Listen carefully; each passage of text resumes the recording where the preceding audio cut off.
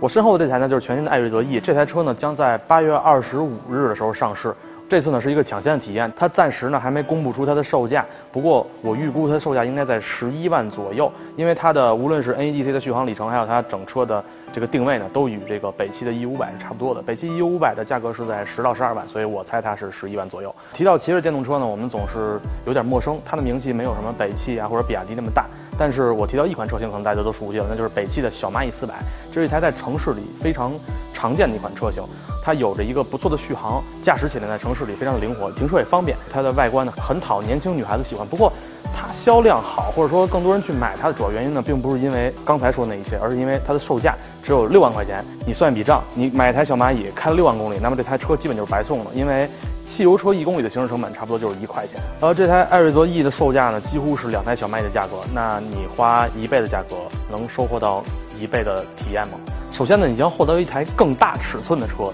没错，它比小蚂蚁呢多了车头，也多了车屁股，你收获的就是安全。呃，如果说小蚂蚁是一台更适合城市的车，那么艾瑞泽你就可以上高速，可以参与一次京郊游或者说是郊区游这么一个情况。因为小蚂蚁开上高速的话，说实话确实不太安全，因为。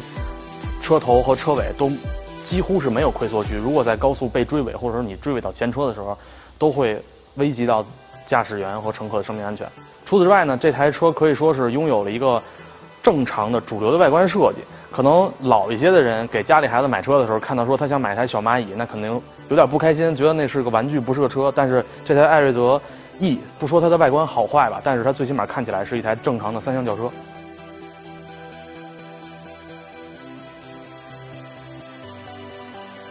内饰方面呢，相比小蚂蚁来说，它的提升更多的是空间方面，而且是一个质的提升。小蚂蚁的空间确实它是能坐四个人，但是坐满四个人的话，而且四个成年人的话，几乎是非常拥挤的，尤其是后排。但是这台车虽然说它是一台紧凑型的轿车，不过它的空间相比小蚂蚁的提升来说，而是非常非常大的，而且它是有后门的，乘乘客上下车呢也方便，以及它的储物箱的空间也会更加的实用。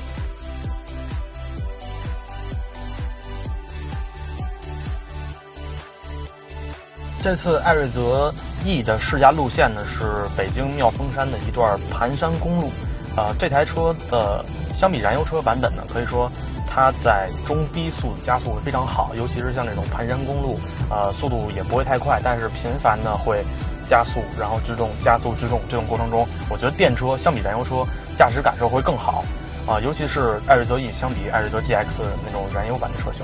呃，相比小蚂蚁来说呢，这台车驾驶起来的提升，首先是续航。这台车 NEDC 是测试的这个续航里程是四百零一，呃，可以说比小蚂蚁的续航要长那么一些。呃，小蚂蚁如果说在城市里是非常有安全感的，但如果说你出了城市，可能它的续航里程呢会让你产生一些焦虑。但这台艾瑞泽 E 呢，几乎就没有这样的情况了，或者说能给你更强的安全感。而且它相比小蚂蚁来说呢，有更长的轴距，在经过一些不平路面或者说是一些呃非常复杂、颠簸、路况比较差的时候，啊，它的底盘的滤震性呢会比小蚂蚁更好。不过，呃，它的操控的灵活性以及停车呢，相比小蚂蚁来说就不如小蚂蚁那么好了。而且，它的一些高速弯，比如说你在高速的盘桥、高速行驶的稳定性等等等等，我觉得它都是要优于小蚂蚁的。艾瑞泽 E 它整体的驾驶感受呢还是不错的，因为这台车的底盘呢是在德国进行调教，行驶起来呢，以及还有它就是在山路这种连续的启停，呃，急加速、急减速以及呃变向，然后转这种小角度的弯、大角度的弯，都让你感觉这台车可控，而且开起来呢，也是比较还是挺有激情的。开惯了内燃机车型呢，你。换成电动车你会需要适应，因为他们的发力泄力方式以及他们的设定，呃，刹车油门踏板这种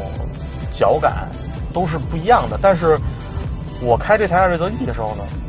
就感觉这种感觉并不是那么明显。这台车整体的设定呢是很接近燃油车的，而且这台车的无论是驾驶模式是在 Eco 还是 Sport 切换的时候呢，也不会它的 Sport 版本呢不会绷得非常紧，它的 Eco 模式呢也不会说油门踩跟没踩似的。整体动态的调教呢，也都是比较过关的。